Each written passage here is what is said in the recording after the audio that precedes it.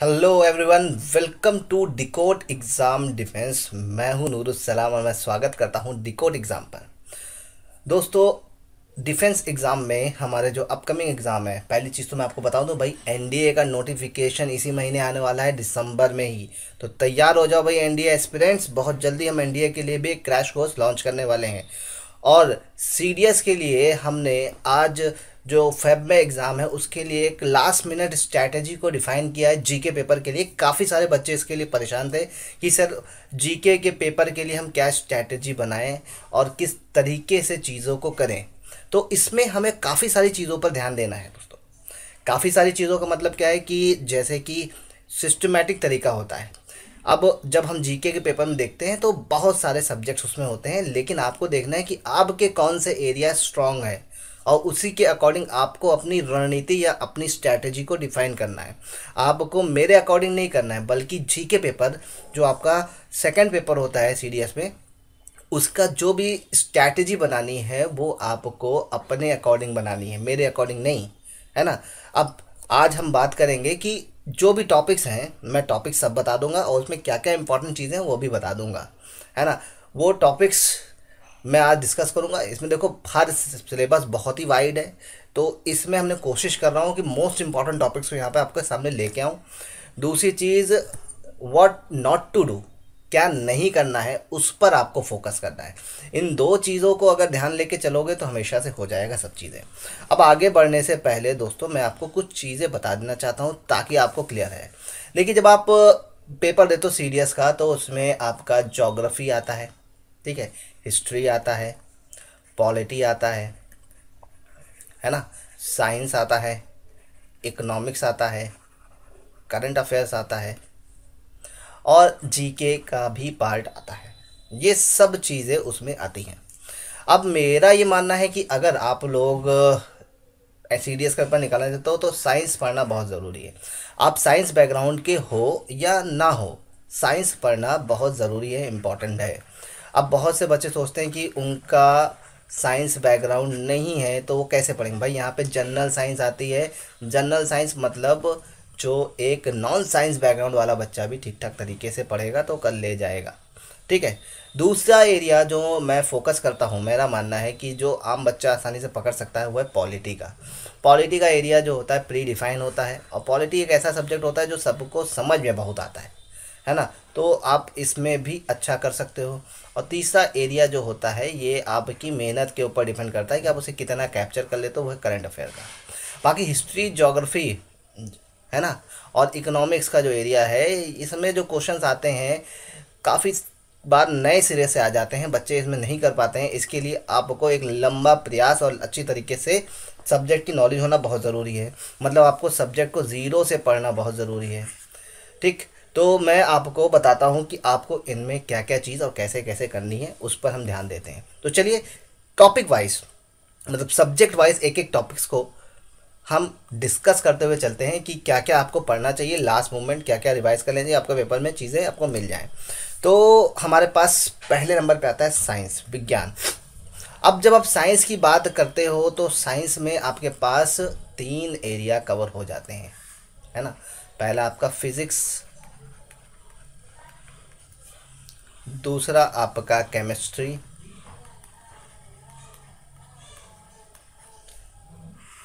तीसरा आपका बायोलॉजी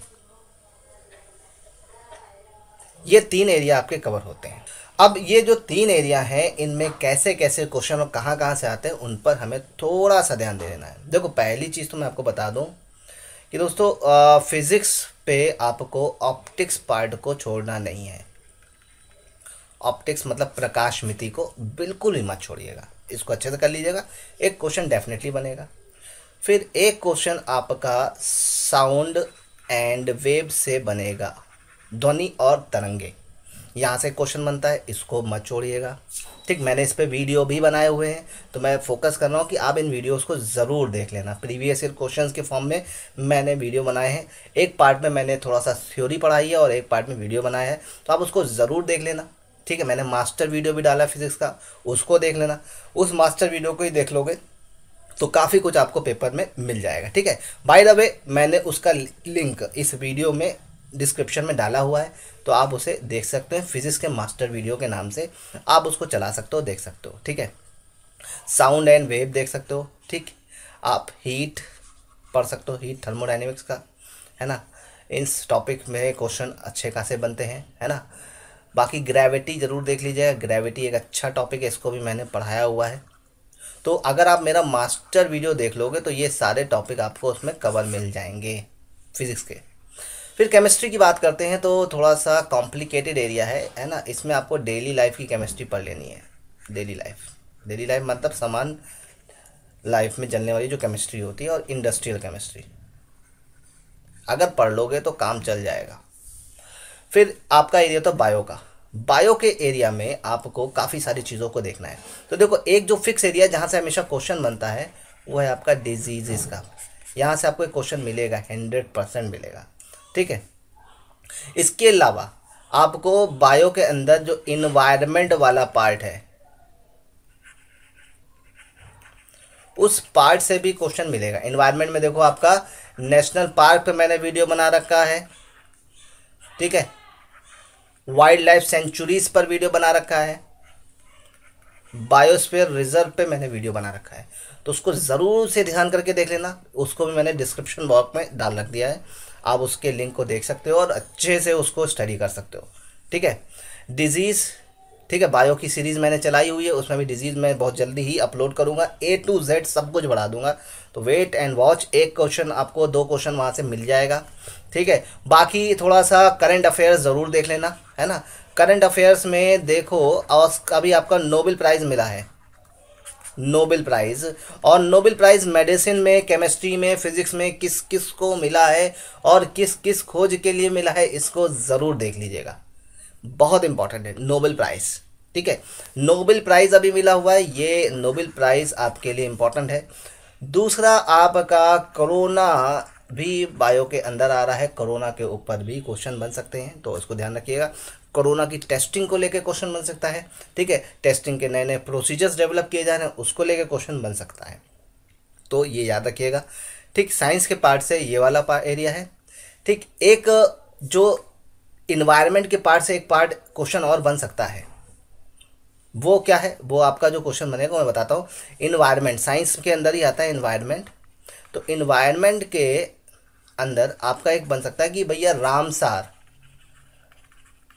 जो साइट्स होती हैं, या रामसार सम्मेलन के ऊपर बन सकता है, या वेटलैंड्स के ऊपर बन सकता है। क्या बन सकता है? देखो एक्चुअली करंट अफेयर से रिलेट करके आप बना सकते हो। इसमें करंट अफेयर से रिलेटेड काफ़ी सारी चीज़ें आपके पेपर में आ सकती है। अब वो क्या आ सकती है? उसको मैं बताता हूँ। देखिए, उसमें क्या है, इसमें आपका, अब देखिए, रामसार साइड में आपकी दो नई साइट्स अभी बोल गए डेजिग्नेटेड की गई है इंडिया में, है ना? एक आपका कबरताल है और दूसरा असन ठीक, ये दो एरिया आपके रामसार साइड में जोड़े गए हैं।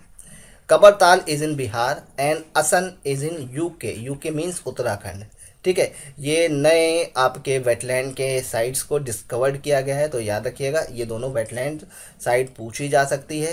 रामसार साइट में इसे डेजिग्नेटेड किया गया है इसे ध्यान रखिएगा।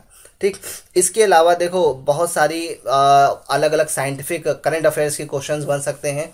जैसे कि एक क्वेश्चंस यहाँ पर आपका बन सकता है। देखो मैं आपको डिस्क्रिप्शन दे रहा हूँ बाकी आप इसको देख लेना। नासा है ना? नासा और इसरो ने मिलकर एक सैटेलाइट छोड़ा है, जिसका नाम है निसार। ठीक है? और ये इंडिया का और यूएस का टू प्लस टू डायलॉग है है ना? और ये पहली बार ऐसा सैटेलाइट छोड़ा गया है। ठीक? इस सैटेलाइट का मेन एम क्या है? ठीक है? स्पेस की जो भी सिचुएशंस है, उसकी अवेयरनेस को बताना। ठीक है? और creating creating safe and sustainable.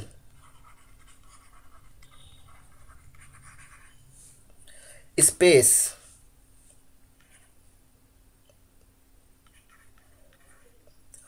ठीक है? इन्वायरमेंट इसका मेन काम क्या है? इसका मेन काम है कि एक सेफ़ और सस्टेनेबल स्पेस का इन्वायरमेंट बनाना। ठीक है? और इसमें जो निसार सेटेलाइट है, इसमें इसमें जो रडार लगा है, उसको भी निसार के नाम से ही जाना जाता है, इसे याद रखिएगा। ठीक, इसे ध्यान रखना। ये एक थोड़ा इंपॉर्टेंट है साइंटिफिक फॉर्म में। ठीक, इसी तरह से आपके पास एक और करेंट अफेयर है है ना? वो है भैया क्या? ग्लोबल हिमालयन एक्सपेडिशन जो है, ये एक आपका ऑर्गेनाइजेशन है। इसने यूएन का ग्लोबल क्लाइमेट एक्शन अवार्ड जीता है। ठीक है? तो ये याद रखना, ये बहुत इंपॉर्टेंट चीज़ है, इसको मत भूलिएगा। ठीक है? जी एच ई इसको शॉर्ट में हम बोलते हैं G H E global Himalayan expenditure ठीक है? ये बेसिकली एक संस्था है जो हिमालय के आसपास के क्षेत्रों में काम करती है। इसे याद रखिएगा इंपॉर्टेंट है। और इस पर अगर थोड़ा सा भी अगर फ्रेंड्स आप लोग फोकस कर लेंगे तो काफ़ी ज़्यादा आपको समझ में आ जाएगा चीज़ों को लेकर, ठीक? चलिए, अब साइंस से रिलेटेड जो करंट अफेयर्स है, उसमें अगले नंबर पर चलते हैं। डी एस टी और आई आई ई एस टी ने एक सोलर पीवी हब को जनरेट किया है। ठीक है? कहाँ पर शिवपुर में। और ये शिवपुर कहाँ है? वेस्ट बंगाल में। ठीक है? अभी इसे यूनियन एजुकेशन मिनिस्टर ने इसको लॉन्च किया है, इसे याद रखिएगा। और ये स्पेस डिपार्टमेंट के लिए एलोकेटेड है, इसको ध्यान रखने वाली चीज़ है, इसे ध्यान रखना आप लोग। ठीक। चलिए, अब यहाँ से आगे बढ़ते हैं। और साइंस एंड टेक से रिलेटेड करंट अफेयर्स में, देखो साइंस और टेक में अभी क्या है? ईयू e ईयू e के इन्वायरमेंटल मिनिस्टर्स ने ईयू e मतलब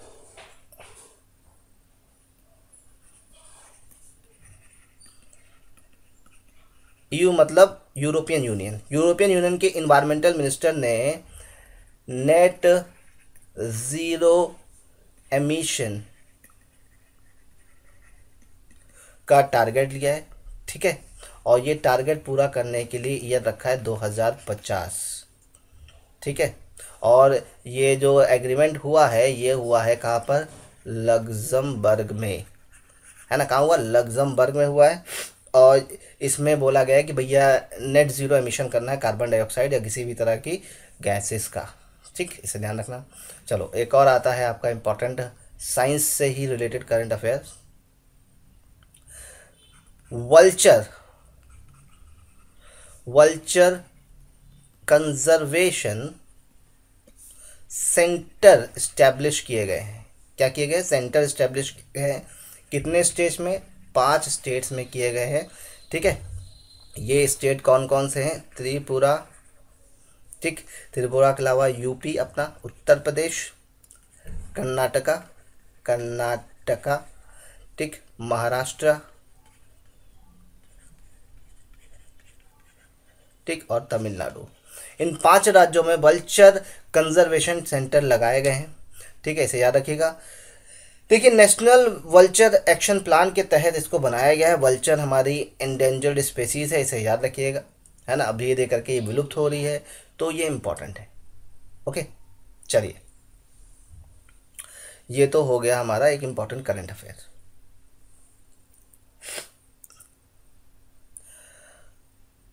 ये इन्वायरमेंट से रिलेटेड और आपके जितने भी साइंस से रिलेटेड चीज़ें हैं, उनको हमने बता दिया। ठीक? अक्टूबर 24 को हमारे वर्ल्ड पोलियो डे को सेलिब्रेट किया है। करते हैं हर साल। इसे याद रखिएगा। ठीक है? 1988 से हम इसको हर साल मना रहे हैं। इसे याद रखिएगा। और लगभग हमने 99 परसेंट पोलियो को वर्ल्ड से क्या कर दिया है? रिड्यूस कर दिया है।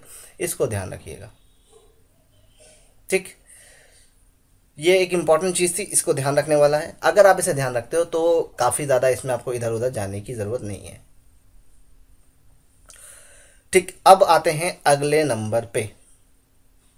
चलिए, अगले नंबर पे चलते हैं। अगले नंबर पे जब पहुँचते हैं तो हमारे पास एक बड़ी न्यूज़ है। I N S Kavaratti. ठीक है इंडियन नेवी में कमीशन हो गया है। ठीक है, ये क्या है? ये एक सबमरीन है। ठीक है? ये भारत में खुद से बनी हुई एंटी सबमरीन वारफेयर स्टील है, ठीक है? इसे याद रखिएगा।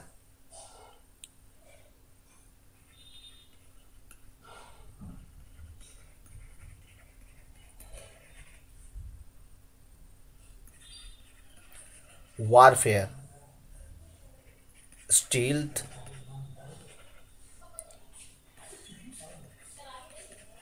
कॉर्वेटी है इसे ध्यान रखिएगा। ओके चलिए यहाँ से आगे बढ़ते हैं। बाय द वे आगे बढ़ने से पहले मैं बता दूँ, कावारत्ती लक्षद्वीप का कैपिटल है। इसे ध्यान रखना है। चलो, अब अगला जो न्यूज़ है, वो है एनीमिया मुक्त भारत।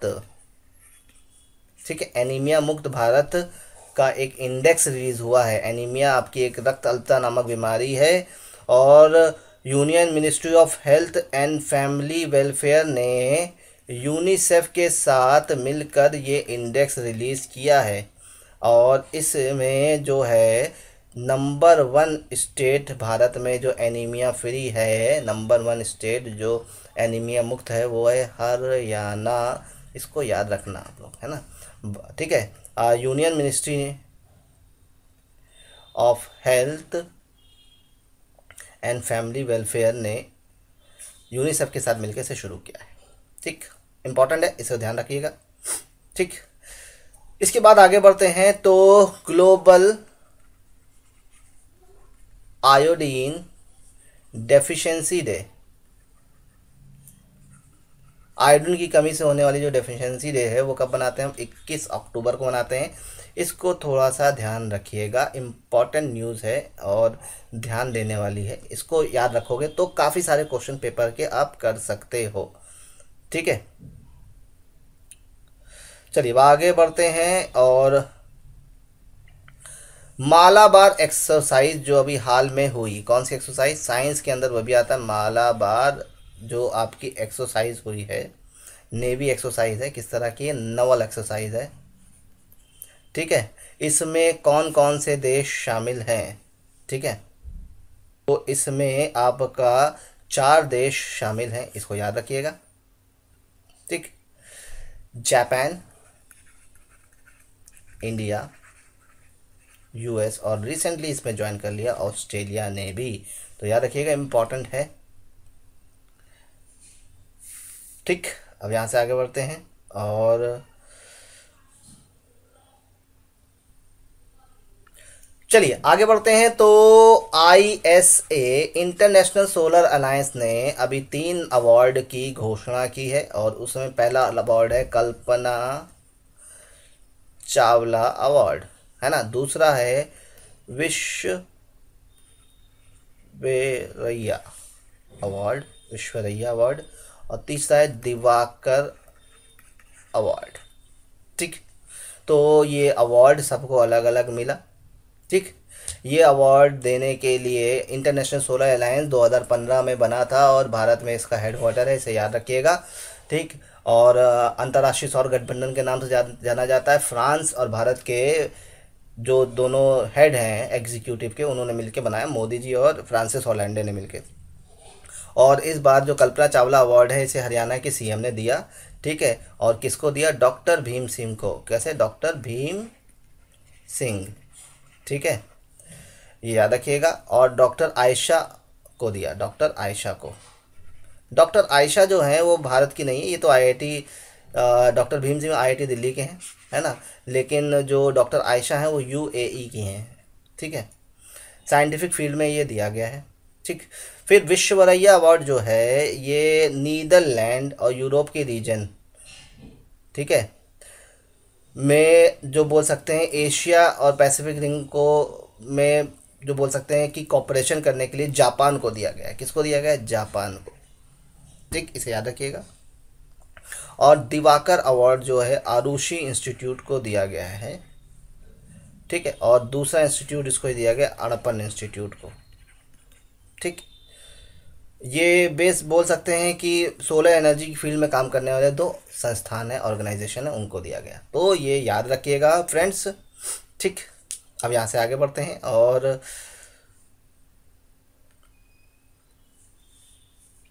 एक साइंस का और क्वेश्चन है। दुनिया का सबसे बड़ा जिंक स्मेल्टर प्रोजेक्ट कहाँ पर इस्टेब्लिश किया गया? भाई, गुजरात में किया गया। ठीक है? याद रखिएगा, गुजरात में, साउथ गुजरात में इस्टेब्लिश किया गया। ठीक? इसको ध्यान रखिएगा।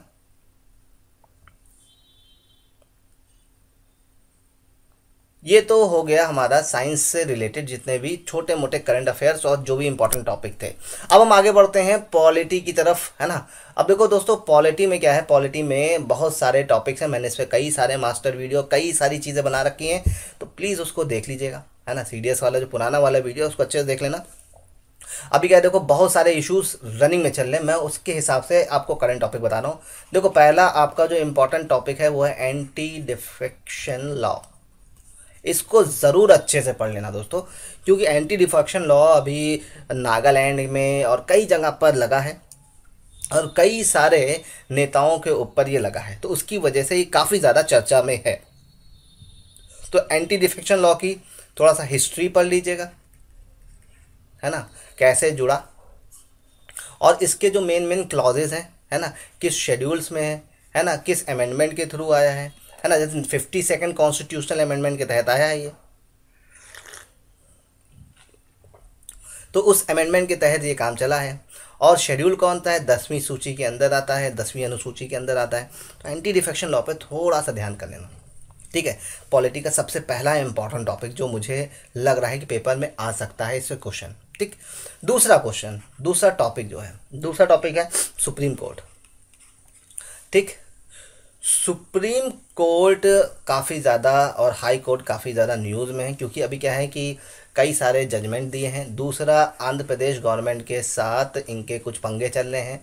आंध्र प्रदेश के जो सीएम हैं, उन्होंने सीनियर मोस्ट जो सेकंड जज हैं सुप्रीम कोर्ट के, जो इस अपकमिंग ईयर में 2021 में चीफ जस्टिस बन जाएँगे। उनके ऊपर सीरियस एलिगेशन लगाए हैं बिकॉज़ वो आंध्र प्रदेश के ही हैं और उनके ऊपर सीरियस एलिगेशंस लगाए गए हैं कि भैया जो अमरावती कैपिटल बना है, उसमें उन्होंने बहुत सारा लैंड अपने नाम कर रखा है और काफ़ी बला बला बड़ा लंबा चौड़ा उन्होंने खत लिखा था और उसको लेकर काफ़ी बवाल भी हुआ, ठीक है? और फिर हाई कोर्ट ने क्या किया? हाई कोर्ट ने अभी रिसेंटली एक बड़ा बवाल और कर दिया, ठीक है? उन्होंने क्या किया? उन्होंने बोला कि आंध्र प्रदेश की जो एग्जीक्यूटिव मशीनरी है, वो सही से चल नहीं रही है और उन्होंने रिकमेंड किया। किसने? हाई कोर्ट ने रिकमेंड किया कि भैया यहाँ पे क्या लगना चाहिए?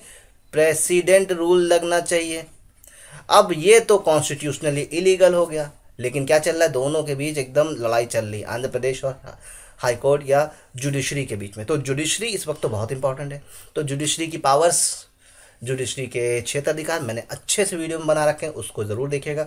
उसका लिंक भी मैं डिस्क्रिप्शन में डाल दे रहा हूँ, उसे ज़रूर देख लेना। चलो, फिर आपका प्रेसिडेंट रूल या इमरजेंसी पावर्स क्या होती हैं, इन पर भी थोड़ा सा देख लेना। एमरजेंसी एमरजेंसी क्या होती है है ना? एमरजेंसी प्रोविज़न, तीन तरह की एमरजेंसी होती है। तीन सौ बावन, तीन सौ छप्पन और तीन सौ साठ, इसको बहुत अच्छे से देख लेना। क्वेश्चन बन सकता है, ठीक? इसके अलावा आपका इलेक्शन कमीशन से क्वेश्चन बनेगा। Election commission. ठीक है, इलेक्शन कमीशन की पावर, इलेक्शन कमीशन क्या है? क्यों? क्योंकि चुनाव बहुत ज़्यादा जगह पर चल रहे हैं, कई जगह पे हैं, कई जगह पे नहीं चल रहे हैं। पश्चिम बंगाल पे चल रहे हैं तो आने वाले हैं। तो इस तरह से बिहार का इलेक्शन खत्म हुआ, दूसरी जगह इलेक्शन। तो इलेक्शन का काफ़ी माहौल चल रहा है तो इलेक्शन कमीशन से क्वेश्चन डेफिनेटली बनेगा। ठीक। फिर कैग कौन बना, ये तो मैंने आपको वीडियो में बनाया, ये बताया ही था अपने मास्टर वीडियो में। उसको देख लेना। Constitutional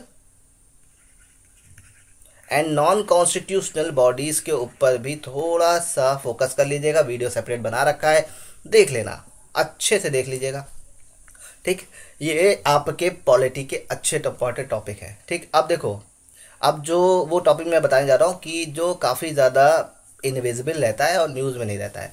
तो वो टॉपिक आपका है पॉलिटिकल पार्टीज़ पॉलिटिकल पार्टीज़ मतलब कौन सी पार्टीज़ को political party national party state party होने का दर्जा कब और किस किस क्लास में मिलता है, इसको ज़रूर देख लेना। क्वेश्चन बन सकता है। अच्छा क्वेश्चन बनेगा। इसे ध्यान रखिएगा। फिर अभी फार्मर बिल पास हुआ है। फार्मर बिल को लेकर बहुत सारे बवाल चल रहे हैं। चल रहे हैं कि नहीं चल रहे हैं? है ना? अब इस बिल पर तो कुछ भी शायद ना पूछे पेपर में, लेकिन बिल क्या होता है? है ना? ये पूछ सकता है। बिल के टाइप पूछ सकता है है ना? और ये बिल कहाँ पे पास होते हैं? ये पास होते हैं पार्लियामेंट में, है ना? और अभी ड्यू टू कोविड पार्लियामेंट के सेशंस को लेकर काफ़ी ज़्यादा गर्मा गर्मी चल रही कि भाई कोविड की वजह से हम सेशन नहीं चलाएँगे। तो पार्लियामेंट के सेशन कितने होते हैं? है ना? और क्या पार्लियामेंट जब सेशन में नहीं है तो कोई स्पेशल सेशन चल सकता है। ये सब क्वेश्चन यहाँ पर बन सकते हैं। ठीक? तो फार्मर बिल से लेकर काफ़ी सारे क्वेश्चन नए नए निकल रहे हैं। ठीक है? कौन सा बिल कौन सा होता है? ऑर्डनरी बिल है कि कॉन्स्टिट्यूशनल अमेंडमेंट बिल है? कि आपका ये एनुअल फाइनेंशियल स्टेटमेंट या मनी बिल है तो किस किस तरह के बिल होते हैं, वो सब चीज़ें आपको थोड़ा सा क्लियर रखना है है ना? और पार्लियामेंट के अंदर ये सब चीज़ें आती हैं, मैंने इस पर वीडियो बना रखा है, ज़रूर देख लीजिएगा। पॉलिटी के एरिया में चीज़ें छूटनी बिल्कुल नहीं चाहिए दोस्तों, है ना? पूरा का पूरा करना है आपको, है ना? ये अगर अच्छे से कर लिया तो पंद्रह क्वेश्चन से बीस क्वेश्चन यहाँ पे मिलेंगे प्लस आपके साइंस के पच्चीस क्वेश्चन रहते हैं, है ना? आपका कट ऑफ़ तो इसी से क्लियर हो जाएगा। अभी मैं आपको बताता जाऊँगा कि और क्या क्या करना है, आपको कैसे कैसे चीज़ों को कवर करना है तो उसको देखिएगा। तो ये तो हो गए पॉलिटी के और टॉपिक है ना? अब देखो, अगर हम बात करते हैं तो काफ़ी सारी चीज़ें पॉलिटी की रनिंग में रहती हैं। जैसे कि प्रोजेक्ट विस्ता।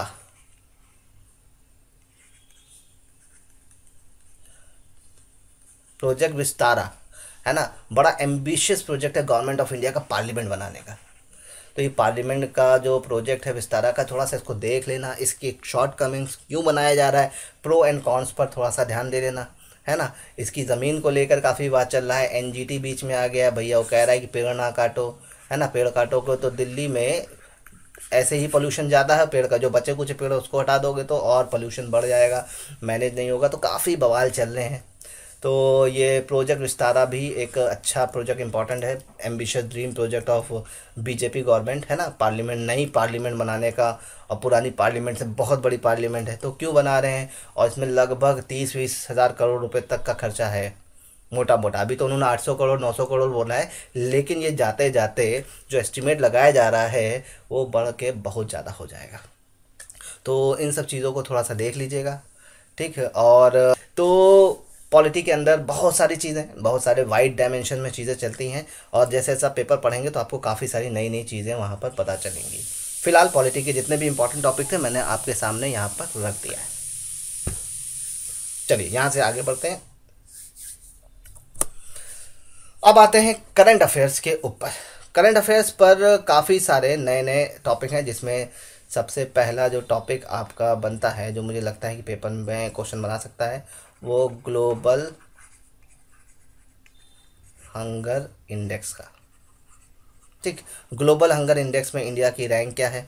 है ना नाइन्टी फोर्थ रैंक, है ना, और बढ़ी की घटी। तो ये थोड़ा सा ध्यान रखिएगा, ग्लोबल हंगर इंडेक्स कौन जारी करता है है ना? तो कैसे कैसे क्वेश्चन बन सकते हैं? ग्लोबल हंगर इंडेक्स को ज़रूर देख लेना। ठीक, फिर अगर हम बात करते हैं तो आपका वर्ल्ड फ़ूड डे। इस पे क्वेश्चन बन सकता है, वर्ल्ड फ़ूड डे कब मनाया जाता है? तो भाई सत्रह अक्टूबर को मनाया जाता है, इसको ध्यान रखना, ठीक? अगर हम आगे बात करें तो हमारे पास आता है स्टेट, एक रिपोर्ट है जो काफ़ी ज़्यादा चर्चा में state of climate. Service report. तो ये रिपोर्ट है, ये रिपोर्ट कौन जारी करता है? तो W M O world meteorological organisation इसे जारी करता है, इसे याद रखिएगा। और ये बेसिकली क्लाइमेट के ऊपर रिपोर्ट जारी करी है और काफ़ी सारे बड़े बड़े इसके अंदर इश्यूज़ बाहर निकल के आए हैं तो ये काफ़ी चर्चा में रही हुई रिपोर्ट है, इसे याद रखिएगा। हो सकता है इसके अंदर की चीज़ें पूछ ले तो इसको थोड़ा सा पढ़ लीजिएगा। ठीक, फिर एक करंट अफेयर का क्वेश्चन है, जो आ सकता है पेपर में। फैट फ्री कंट्री बनने के लिए उसने कसम खाई है कब तक बनेगा? 2022 तक। ठीक है? ट्रांस फैंस क्या होते हैं ये भी पढ़ लीजिएगा, है ना? और कमेंट सेक्शन में इसके बारे में मुझे ज़रूर बताना। ठीक है? मैं वेट कर रहा हूँ। मैं जानना चाहता हूँ कि आप लोग मेरी बताई हुई चीज़ों पर वर्क करते हो कि नहीं। ठीक? फिर आता है कपिला कैंपेन।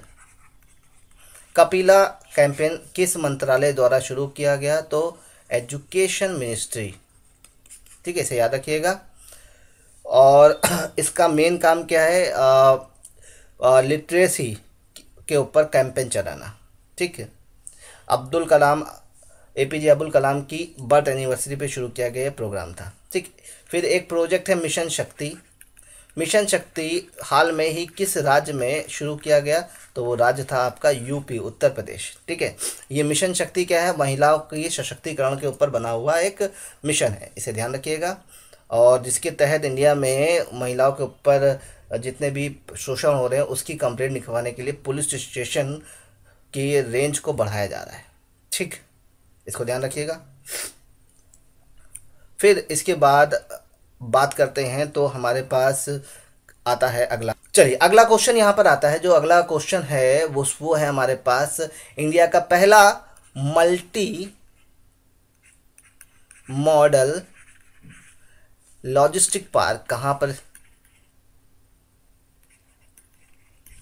पार्क, हम कहाँ पर स्टैब्लिश कर रहे हैं? तो भैया ये कर रहे हैं, असम में, ये याद रखिएगा, इंपॉर्टेंट न्यूज़ है। मल्टी मॉडल लॉजिस्टिक पार्क, कहाँ पर स्टैब्लिश कर रहे हैं? असम में। ठीक है, इसे याद रखिएगा। फिर असम और हाल में ही बॉर्डर डिस्प्यूट चल रहा है, किसके बीच में? असम और मिज़ोरम के बीच में। ये बॉर्डर डिस्प्यूट आज का नहीं, काफ़ी पुराना है और ये बोल सकते हैं कि चाचर और लूशिया प्लेन्स को लेकर चल रहा है। ये अंग्रेज़ों के समय से ये बवाल चल रहा है तो ये अभी तक सुधरा नहीं है अभी भी इस पर इशूज़ बने हुए हैं। ठीक है तो असम की लोकेशन मैप पर बहुत इंपॉर्टेंट है, इसे याद रखिएगा। ठीक, फिर आता है इफ़को। इफ़को ने अपनी फ़ूड प्रोसेसिंग यूनिट अभी हाल में कहाँ शुरू की, किस राज्य में? सिक्किम में की, इसे याद रखिएगा। सिक्किम, और ये प्रोजेक्ट 2021 तक कंप्लीट हो जाएगा, और काफ़ी एम्बिशियस प्रोजेक्ट है। ठीक? फिर एक करंट अफेयर है कि नाटो ने अपना हाल में ही नया स्पेस सेंटर कहाँ पर इस्टेब्लिश किया? स्पेस सेंटर कहाँ पर इस्टेब्लिश किया? तो आंसर है जर्मनी। ठीक है? जर्मनी में रैमस्टीन में। इसे याद रखिएगा। ठीक? फिर, देखो, एक, मैं बताना भूल गया था, पॉलिटी से रिलेटेड करंट अफेयर, भाई जम्मू कश्मीर में पंचायती राज व्यवस्था लागू कर दी गई है।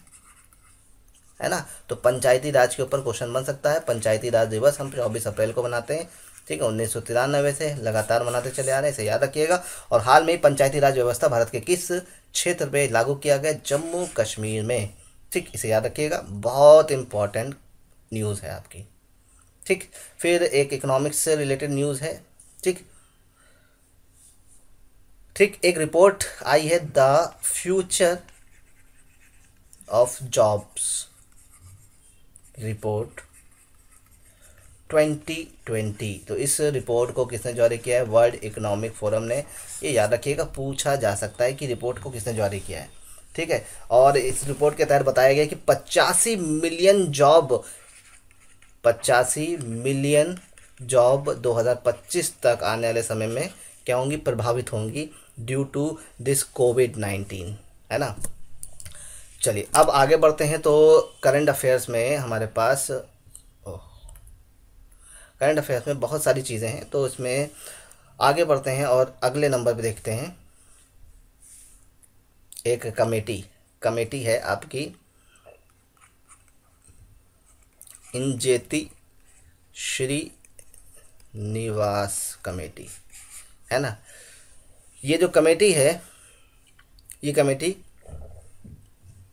किस लिए बनी, ये क्वेश्चन आ सकता है, ठीक? तो ये किस लिए बनी है? ये international retail business development I F S C में इंटरनेशनल बिज़नेस डिटेल को समझने के लिए बनी है, इसके बारे में बनी है तो ये पूछ सकता है, इसे ध्यान रखिएगा, ठीक है?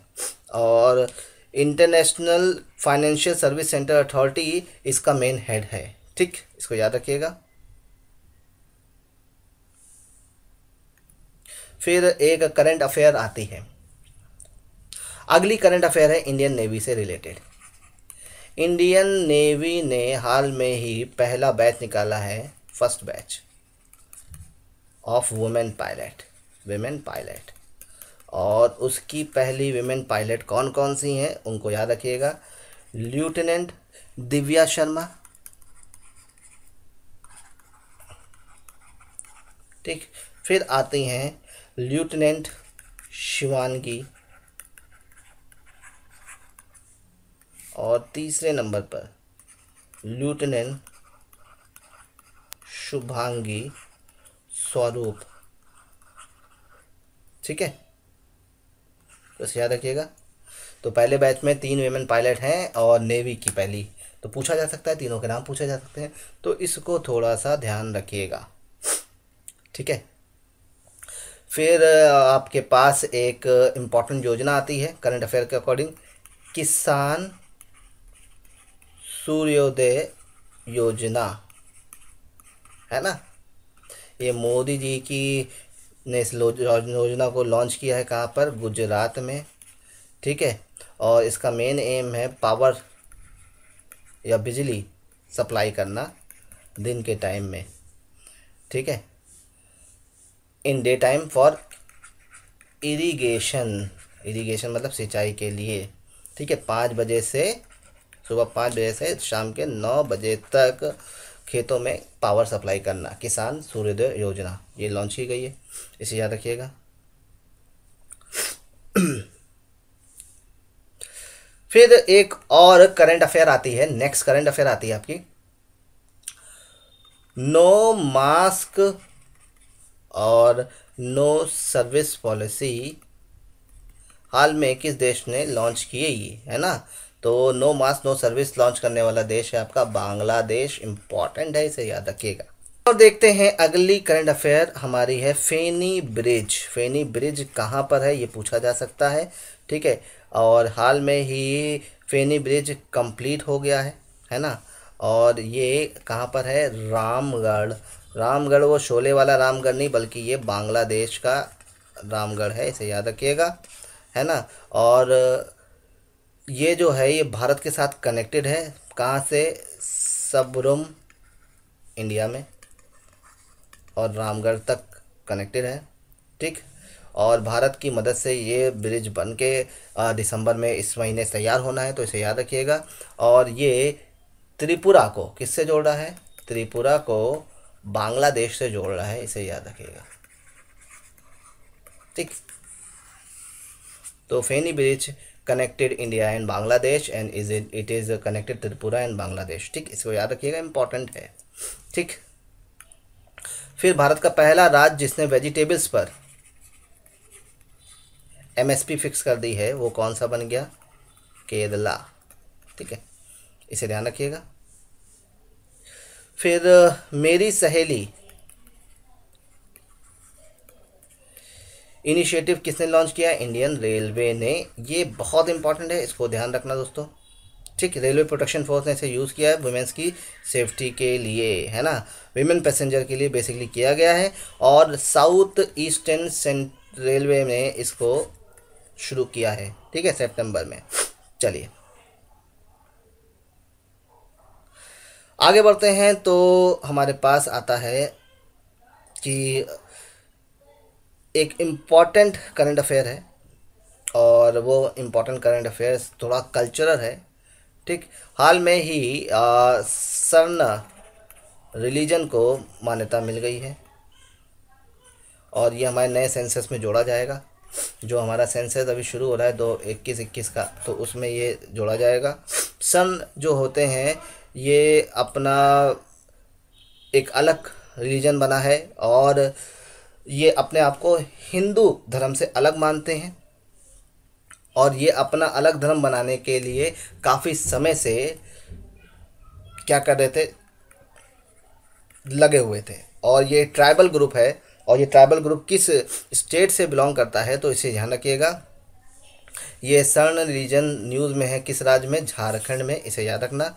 और झारखंड की जो असेंबली है, उसने एक मत में एक बिल पास किया है सरना कोड। सरना कोड, और ये सरना कोड जो है इस रिलीजन को मान्यता देने के लिए पास किया गया है, और ये हमारा एक सेपरेट रिलीजन भी हो गया है, और इसको सेंसस 2021 में जोड़ भी दिया गया है। तो इसे याद रखिएगा, सरना रिलीजन्स को लेकर ध्यान रखना, ठीक? ये इंपॉर्टेंट है, और ये आपके पेपर में आ सकता है। ठीक। इसके अलावा मोदी जी पर एक करंट अफेयर है, इसको ध्यान रखिएगा। मोदी जी हमारे एक इनाग्रेशन करके आए हैं। किस चीज़ का इनाग्रेशन करके आए हैं? ठीक, ये गए थे आपका उड़ीसा। और उड़ीसा में आई टी ए टी की बिल्डिंग को लॉन्च किया है। ठीक, कटक में। कहाँ पर? कटक में। आई टी ए टी मतलब इनकम टैक्स एपिलिएट ट्रिब्यूनल की बिल्डिंग को इन्होंने लॉन्च किया है। ठीक, और मोदी जी ने ये घर बैठे ही किया है ऑनलाइन, है ना? लेकिन उड़ीसा में ये सब हुआ है और उड़ीसा के जो सीएम थे, नवीन पटनायक और यूनियन मिनिस्टर धर्मेंद्र प्रधान, रविशंकर प्रसाद और कई सारे लोग इसमें शामिल थे। इसे ध्यान रखिएगा इंपॉर्टेंट करंट अफेयर है। ठीक? इसके अलावा मोदी जी ने एक और बड़ा काम किया है और काम तो बहुत सारे किए हैं, लेकिन ये भी एक बड़ा काम है भाई। क्या है? इन्होंने रो पैक्स फेरी को लॉन्च किया है। ठीक है? कहाँ पर? गुजरात में। हजीरा से सूरत के बीच में। ठीक है, इसे याद रखिएगा। ठीक? और ये रो फैक्स जो फेरी है, उसने 370 किलोमीटर की दूरी को 90 किलोमीटर में बदल दिया है। ठीक है? 10 से 12 घंटे की जर्नी को 3 से 4 घंटे की जर्नी में बदल दिया है बाय रो फैक्स पैरी के थ्रू इसे याद रखिएगा इंपॉर्टेंट है। ठीक है? और कार्बन डाइऑक्साइड के एमिशन को भी कंट्रोल किया है। क्योंकि फिर ऐसे जाते तो बहुत ज़्यादा कार्बन डाइऑक्साइड लगता, बहुत टाइम लगता। तो बहुत छोटा रूट होने से कई सारे फ़ायदे मिल गए हैं, इसे याद रखिएगा। ठीक। इसके अलावा पर्सन इन न्यूज़ की अगर हम बात करते हैं तो देखो मैंने आपको ऑलरेडी बोला है कि आप नोबेल प्राइज़ के सारे लोगों को याद रखिएगा। ठीक। है इसके अलावा जो बोल सकते हैं कि एक लुइस गुलक को ज़रूर याद रखना, गुलक को, है ना? ये अमेरिकन है और ये नोबेल प्राइज़ लिटरेचर के लिए पाई हैं, इनको ध्यान रखिएगा। ठीक? और एक फ़ेमस पर्सन है जिनकी हाल में डेथ हो गई है, भानु अथैया। है ना? ये ऑस्कर विनिंग कॉस्ट्यूम डिज़ाइनर थे, भारत के, अभी पास पास हुए हो गए, मर गए बेचारे डाइट कर गए। तो इनको याद रखिएगा। और करंट अफेयर्स में फाइनली जो है तो बहुत सारी चीज़ें। मैंने आपको मोटी मोटी चीज़ें मोस्ट इंपॉर्टेंट चीज़ों के फॉर्म में एक और है public affair public affair index जारी हुआ है। इसको भी देख लीजिएगा। पब्लिक अफेयर इंडेक्स में केरल नंबर वन पे है। उसको फॉलो अप कर रहा है गोवा और गोवा के बाद चंडीगढ़ है। तो ये एक इंपॉर्टेंट चीज़ है, इसको ध्यान रखिएगा दोस्तों। करंट अफेयर में बहुत सारी चीज़ें हैं, लेकिन चलिए अब आगे बढ़ते हैं और जोग्राफी के पार्ट पर देख लेते हैं। देखो जोग्राफी के पार्ट पर आपके पास काफ़ी सारी चीज़ें हैं। ठीक है, पहली चीज़ तो भैया देखो रिवर्स ऑफ़ इंडिया ज़रूर अच्छे से पढ़ लेना। ठीक है, इसके अलावा ट्रांसपोर्ट सिस्टम मैंने बना रखा है पूरा। इसको रिवाइज कर लेना, है ना? मैंने एक मास्टर वीडियो बना रखा है जो कि आपको जब भी आप चैनल खोलते हो तो वो दिखता है। इंडियन जोग्राफी का, उसे दो से तीन बार अच्छे से देखो। ठीक है ट्रांसपोर्ट पर देख लेना रेलवे जोन मैच करने को आ सकता है। और नेशनल हाईवे आ सकता है। न्यूज़ में इसलिए मैं बता रहा हूँ, रेलवे जोन तो काफ़ी ज़्यादा है। फिर अगर हम बात करते हैं तो आपका जोग्राफी के पार्ट से मैपिंग से क्वेश्चन बन सकता है। मैपिंग में क्या बन सकता है? देखो मैपिंग में आइलैंड से क्वेश्चन बन सकता है। छोटे छोटे जो आइलैंड्स है, इसके अलावा साउथ चाइना सी फिर अपना विवाद में चल रहा है तो इससे क्वेश्चन बन सकता है। इसके अलावा देखो इक्वेटर पे कितने देश हैं, इससे क्वेश्चन बन सकता है। Equator tropic of Cancer and tropic of Capricorn ठीक है, ये सब बेसिक क्वेश्चन हैं जो बार बार बनते हैं मैपिंग से। ठीक, इसके अलावा इसके अलावा आपका जो क्वेश्चन बन सकता है, वो बन सकता है सऊदी अरेबिया का नए कैपिटल का नाम। है ना? सऊदी अरेबिया अपना नया कैपिटल डिज़ाइन कर रहा है। इसको ध्यान रखिएगा। काफ़ी सारी चीज़ें न्यूज़ में है तो इनको ध्यान रखना। इसके अलावा पोजीशन के हिसाब से देखा जाए टर्की आजकल बहुत न्यूज़ में है। है ना? आर्मेनिया और आर्मेनिया और अज़रबैजान के रीजन को ज़रूर देखना, है ना, जिसको लेकर विवाद चल रहा था। इसकी लोकेशन देख लेना। ठीक, आर्मेनिया, अजरबैजान की बाउंड्री देख लेना और उनके बीच का विवादित क्षेत्र का नाम, ठीक है कॉकोक्ष बख्श करके जो नाम है, वो इसको ध्यान रखना। इंपॉर्टेंट है पेपर में आ सकता है। और टर्की बीच में आया था और कई सारे देश हैं और जैसा लग रहा था तीसरा वर्ल्ड वॉर हो सकता है तो काफ़ी बड़ा इशू है ये। तो जोग्राफी के पार्ट पर ही इसको हम कवर कर सकते हैं। करंट अफेयर से जोड़कर है ना? बाकी देखो आपका climate of climate of world ज़रूर देख लेना। नोटेशंस वगैरह इंपॉर्टेंट है। ठीक प्लस आपका वेजिटेशन वगैरह देख लीजिएगा। मैंने इन सब पे वीडियोस बना रखे हैं। तो मुझे नहीं लगता कि आपको जोग्राफी में ज़्यादा कुछ देखना है। मेरे वीडियोस को अगर ढंग से देख लोगे तो काम चल जाएगा। आई होप कि आपको सब चीज़ें समझ में आ गई हो। मैंने कोशिश की है कि मैं ज़्यादा से ज़्यादा चीज़ों को इस वीडियो में आपको बता सकूँ, लेकिन को जो चीज़ें छूट गई हैं, जो मेरे दिमाग में नहीं आई, है ना तो मैं उसको और एक और वीडियो में बनाऊँगा और एक करंट अफेयर्स के ऊपर और अच्छा वीडियो बनाऊँगा। ठीक है प्लीज़ इन सारे टॉपिक्स को सीरियसली अच्छे से देखना। और कोई भी दिक्कत हो, आप मुझे कॉल कर सकते हो मैसेज कर सकते हो। This is my number friends और आप मुझे मैसेज करके अपनी प्रॉब्लम को बता भी सकते हो और डिस्कस भी कर सकते हो। जो भी प्रॉब्लम है, हम सब मिलकर उसे सॉल्व करेंगे। है ना? काफ़ी सारी चीज़ें हैं। ठीक? हिस्ट्री के पार्ट को भी मैंने नहीं छुआ है, ना इकोनॉमिक्स के पार्ट को छुआ है। क्यों? क्योंकि मैंने उसको भी किनारे रखा हुआ है। क्योंकि इन एरिया से क्वेश्चन जब बनते हैं तो काफ़ी ज़्यादा भारी पड़ जाते हैं। तो मैं फोकस कर रहा हूँ कि अगर आप इतने एरिया को कर लोगे, भैया टॉप मार लोगे। अच्छे से इन एरिया को कवर कर लो, सब मत पढ़ो, इतना पढ़ के चले जाओ। हिस्ट्री के ऊपर भी हम काफ़ी सारी चीज़ों को बाहर करेंगे आने वाले वीडियोस में, लेकिन ज्योग्राफी और साइंस और करंट अफेयर्स को कैसे आपस में लिंक करके पढ़ना है, वो मैंने आपको बताया है आज। आई होप कि आपको समझ में आया होगा। समय समय के अनुसार जो जो चीज़ें मुझे अच्छी लगेंगी और इंपॉर्टेंट लगेगी, मैं आने वाले वीडियोस में और भेजता जाऊँगा। वीडियो को लाइक और शेयर करना मत भूलिएगा और हमारे टेलीग्राम ग्रुप से जुड़ जाइए ताकि आपको सारी अपडेट्स मिलती रहे। ठीक व्हाट्सएप ग्रुप से जुड़ जाओ। जहाँ जहाँ पर भी प्रॉब्लम है, आप मुझसे कनेक्ट हो जाओ। मैं आपको सब कुछ एक बार में बताता जाऊँगा। ठीक है, धीरे धीरे करके हम हर चीज़ को आपके सामने लेके आएँगे दोस्तों। तो हमारा मेन मोटिव है आपको डिफेंस के लिए तैयार करना।